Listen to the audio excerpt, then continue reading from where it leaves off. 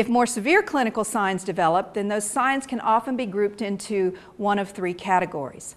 Muscle fasciculations or tremors of the muscles are quite common and in some reports have been seen in as many as 80% of affected horses. Changes in mentation and behavior probably happen in 50 60% of horses. And weakness with ataxia, um, leading to sometimes to recumbency or an inability to stand up anymore, is seen in as many as 80 to 90% of horses. Ataxia refers to a stumbling or drunken gait where the horses are unable to recognize and control where their legs are. I'm going to show you a few video clips here so that you can better understand exactly what these clinical signs might look like. Um, some of these video clips have come from horses seen here at Washington State University and some from horses that have been seen at the University of Florida. This is a horse um, with West Nile virus infection showing muscle fasciculations or tremors, especially around the face and neck. And you'll see the uncontrolled blinking of the eye and the trembling and fasciculations of the muscles around the muzzle and lips and nose.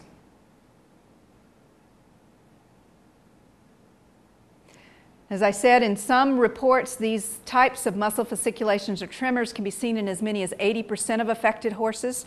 Um, they may occur quite early in the course of disease, and sometimes the horses progress to where they no longer show that particular sign but are showing others. So they might be missed if owners are not watching closely early in the case of in early in cases. Mentation or behavior changes are changes in the way the animal responds to people and its environment.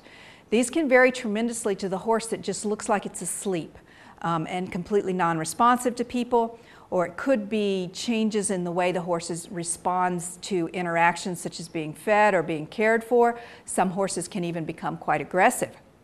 These signs may be persistent or they could sort of come and go.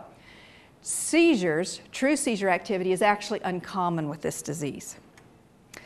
And this is a picture of a horse that's having some behavioral changes, and this horse while it has some, some muscle tremors or fasciculations, it's also showing um, persistent chewing behavior and head shaking behavior, um, confirmed to be the result of infection with West Nile virus.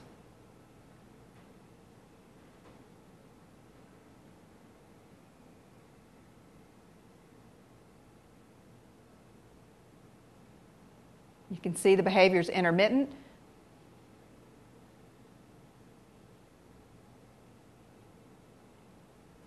But quite unusual and not something you would see in a normal horse.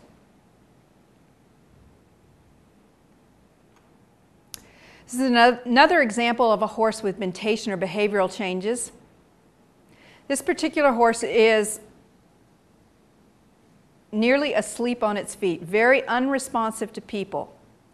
This particular horse here, this is another one you can watch. You see that she's chewing, and as she's eating her meal, she falls asleep in the middle of it.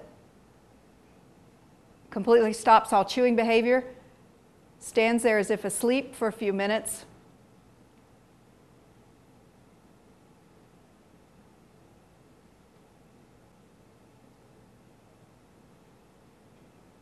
And then begins to chew again.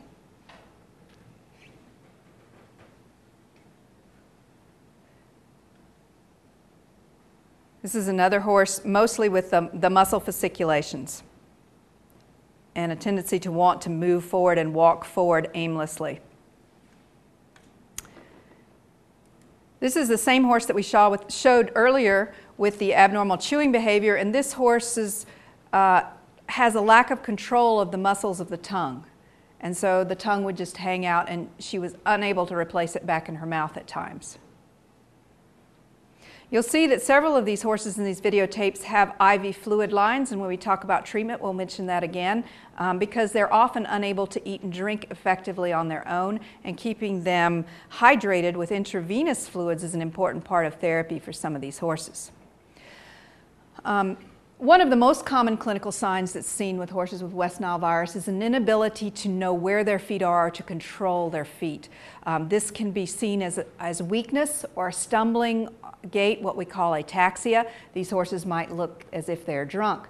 In its worst um, manifestations, these horses get to the point where they're completely unable to stand. And I'm going to show you a very brief video clip of this particular horse.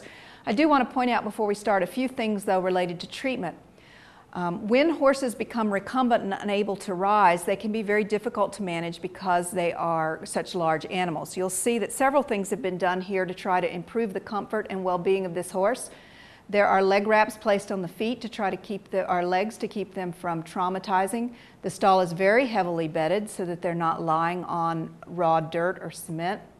And you'll see that there are cotton plugs in the ears to try to decrease the stimulation from the environment. And I'll let you watch this horse for just a minute. We're not going to watch too much, but you'll see that this horse is also having muscle fasciculations or tremors around the head and neck while it's lying here. It's not struggling heavily. Um, some horses do occasionally.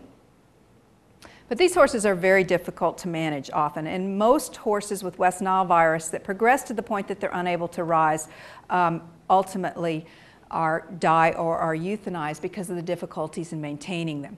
Not always. Some horses can survive even after being recumbent if they receive appropriate nursing care to help get them through this period.